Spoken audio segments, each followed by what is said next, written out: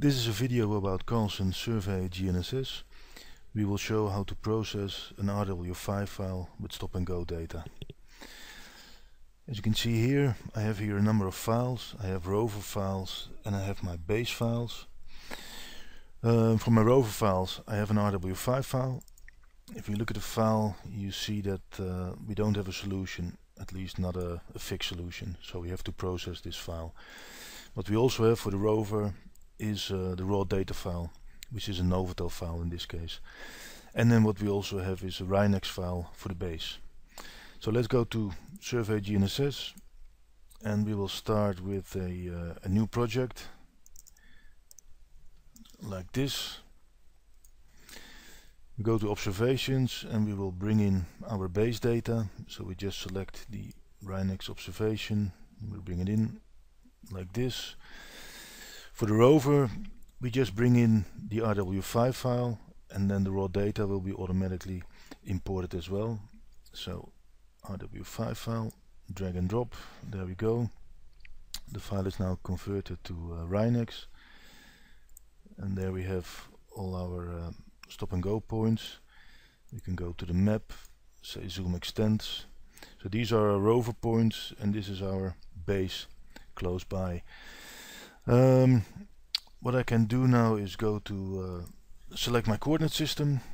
So in this case I will just select a UTM system.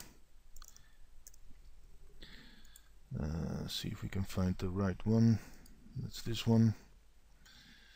We'll say OK. So our positions are now in uh, in easting northing. Also note that we have uh, the feature codes so we have the original feature codes from the RW5 file uh, in, uh, in Survey GNSS. So we can use that later on when we export the data for our field to finish. What I have to do is select my base as a known point like this. Basically I'm ready now for the uh, for the processing but what is always important is to to make sure the right antenna model was uh, selected so with control click I select this uh, first observation of the uh, trajectory and go to observation details. And uh, as you see here the antenna type was not recorded. So we can now just select it from the list. And I know I have been using a NovAtel antenna like this. And I save I save the changes. Also like this. Okay so I have the trajectory selected. And I have my uh, my base selected as well. Control click. So we are uh, ready to go. We say analysis compute vectors. There we go. We can look at the status bar. See the progress there we are 100% so we go to vectors and we see that we have a, uh, a fixed solution of, uh, of high quality. What I can do is I can uh, save the results select all rows OK uh, there are various ways to select it.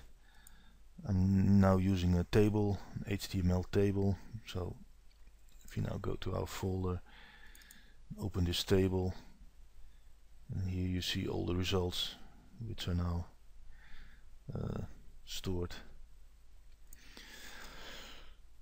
um, what I can also do of course is I can uh, save the results as a Carlson uh, CRDB file and then as I mentioned before I can process it in uh, Carlson uh, survey doing the field to finish and I can also save it as an RW5 file, land XML or a KML file.